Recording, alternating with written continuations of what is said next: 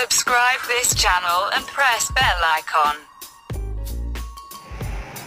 असलकुम दोस्तों, आज हम आपको दिखाएँगे कि चैंग रूबा का जो डीसी इन्वर्टर है, वो किस तरह से दो पैनल पे काम करता है। ये आप देख रहे हैं, एक छोटी सी बैटरी लगानी पड़ती है, जो कि पैंतीस अम्पेयर की है। उसके साथ साढ़े तीन सौ वाट का आप लगा लें कन्वर्टर उसको ऑन करें।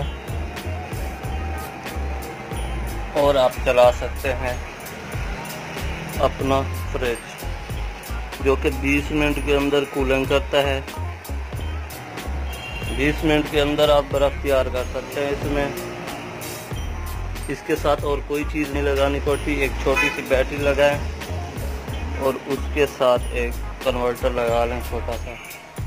तो ये देख रहे देख रहे हैं ना सिर्फ़ दो पैनल पे चलाया हुआ है हमने।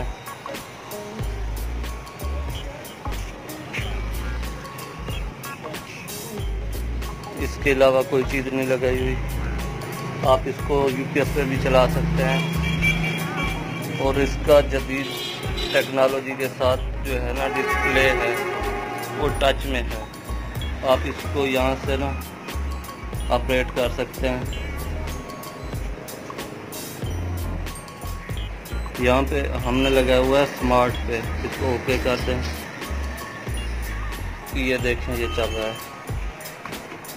इसके अंदर हमने रखा हुआ है सामान वगैरह कुछ। ये बर्फ़ भी जम रही है इसके अंदर।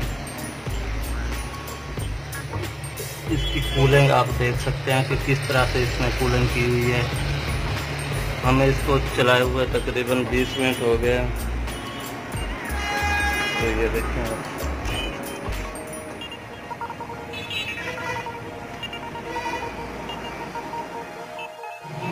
और इसके अलावा आप ये भी देख सकते हैं कि ये डीसी जो अम्पेयर होते हैं, दो पैनल 16 अम्पेयर देते हैं, जो अच्छे वाले पैनल होते हैं डीसी वो 16 अम्पेयर देते हैं और ये कितने, ये आप देख रहे हैं, ये 12 अम्पेयर कंज्यूम कर रहा है डीसी 12 अम्पेयर ये जो देख रहे हैं, आप बैटरी से जो कन्वर्टर कंज्यूम कर रहा है ना, वो है 12 से 13 अम्पेयर ये 12 अम्पेयर कंज्यूम करता है। इसको आप दो पैनल पे इजीली चला सकते हैं। अगर आपके पैनल पूरे अम्पेयर देते हैं तो। इसके अलावा इसका जो टच सिस्टम है, इसमें ऑप्शन होते हैं। इसको आपने कैसे चलाना है, ये आपके ऊपर है। आप इसका पहले लॉक खोलें। अगर आपको जल्दी ना बर्फ़ फ्रीज़ करनी है तो इसको आप लगाएँ, ये फास्ट फ्रीज पे। अगर आपको ना जल्दी कूलिंग चाहिए तो आप फास्ट कूलिंग पे लगाएँ।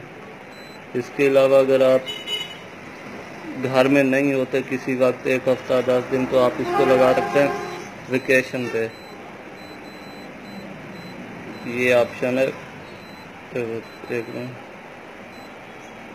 ये वाला ऑप्शन है वेकेशन उसके अलावा अगर आप नॉर्मली घर में यूज़ करना है तो आप इसको स्मार्ट मोड पे लगाएँ अगर बंद करना है तो ये पावर पे जाएँ और ओके करें इसको। ये बंद हो गया। ये ऑफ़ हो गया।